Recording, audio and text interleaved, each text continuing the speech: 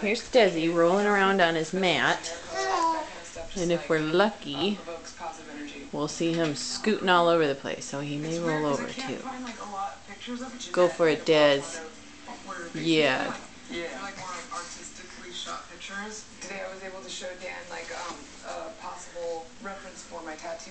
It's definitely a challenge. I mean, it would be a challenge for me to do it, and I do portraits all the time. I was texting her because like I don't We really want to know a little like, bit. getting a tattoo for He gets just told her, himself to a point where he's project."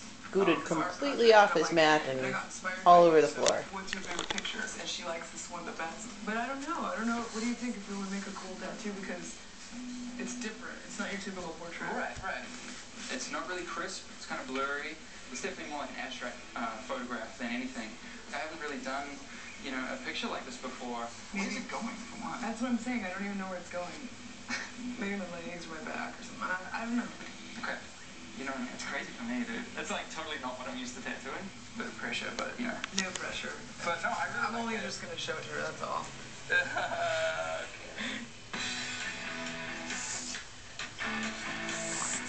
Hi, Desi. supposed to be at work Oh, today, there you I'm go. because I need some time to clear my head. Hello? Hey, Amy. Hey, Aubrey, what's up? I'm house sitting for this huge house for a couple days, and I, I was wondering if you and Polly wanted to go swimming. Did you want to go swimming with Aubrey? Of course I want to go swimming. I haven't really seen Aubrey since I've quit the shop, and um, I kind of miss her. Okay, kiddo. I'm not going to get in a bathing suit, but we're both in, so Okay. I'll talk to you later. bye-bye. After Polly quit the shop, I felt very, very alone. I don't have friends at work. I hope that I can make everything okay. All right. Well, now she's doing all of it. Say oh, bye-bye. She just wasn't Desi. happy with the way she was getting treated Hey. in there. You know, I guess everybody's got Say bye-bye. point.